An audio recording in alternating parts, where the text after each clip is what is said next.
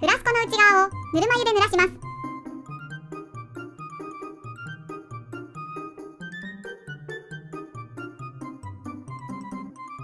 フラスコに線香の煙を少し入れビニールチューブと温度センサーのついたゴム栓で密閉します。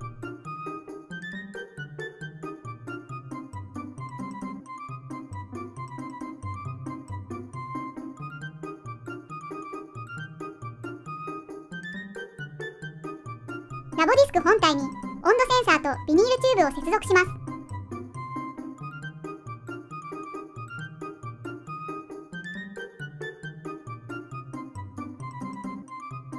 別のビニールチューブに大型注射器を接続します。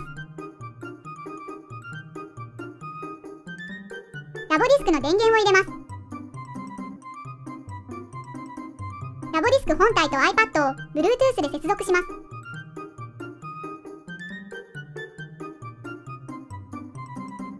iPad のアプリを起動させ設定します「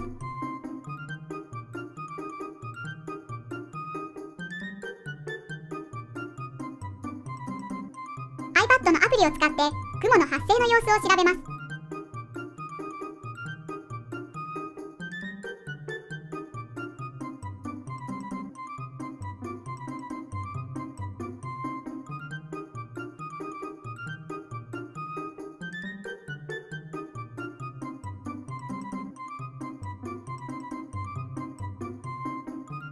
測定したデータを確認します。